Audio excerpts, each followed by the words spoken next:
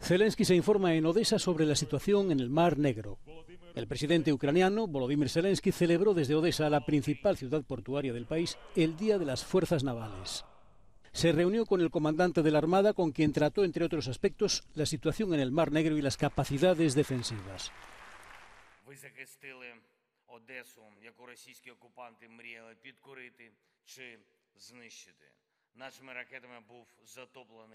Одесу, яку російські окупанти мріяли підкорити чи знищити. Нашими ракетами був затоплений російський флагман, і це було настільки принизливо для Кремля, що вони й досі бояться оприлюднювати всі деталі тієї втрати. Zelensky visitó un hospital militar donde condecoró a algunos de los heridos. Todo ello mientras en el este y el sur del país no cambian las posiciones de manera significativa.